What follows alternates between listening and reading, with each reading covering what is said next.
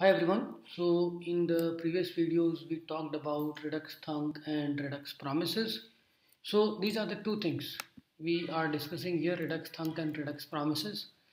Redux Promises we have used it with the weather application and in the last video we were talking about Redux Thunk how it works okay so we will add on some more examples examples and we will try to understand it so before going into one more application, first we will try to understand the structure. Okay. So to get into uh, Redux Thunk, what you need to do is first you need to install from the command line this. You'll just go step by step what all things you need to do to get started with Redux Thunk. After that, while creating a store, this is step two, while creating a store, you need to just pass this Redux thunk in the apply middleware. Okay, simple. We are just importing it, create store and apply middleware.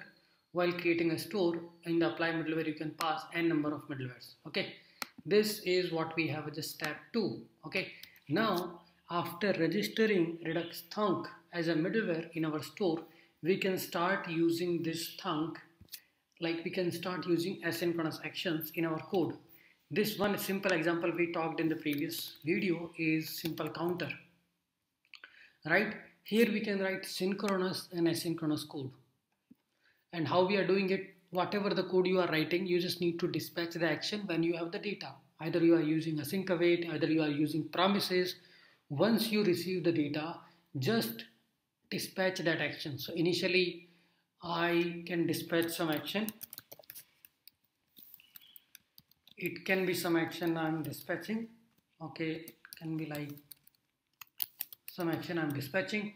Then after executing some asynchronous code like which is can be a callback, can be a promises, can be async await. After getting that done, we can again do the dispatch. So you can invoke synchronously or asynchronous actions with dispatch okay so the important part of this whole redux thunk is the dispatch how you are dispatching it. And dispatch we are just writing that in the inner function. Rest you can call the you can use this dispatch function to call synchronous and asynchronous function.